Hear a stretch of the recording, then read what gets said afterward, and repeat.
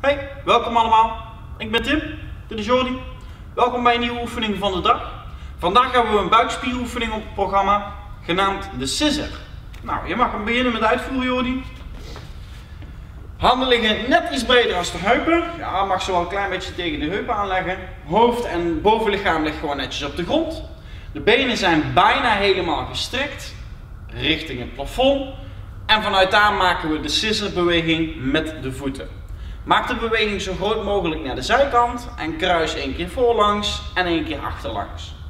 Om deze oefening moeilijker te maken, laten we de voeten meer zakken richting de grond, dus dichter naar beneden. Wel is het belangrijk dat de onderrug aan de grond blijft.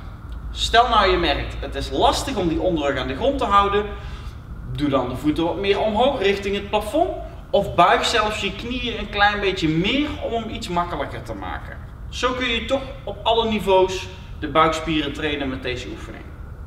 Succes!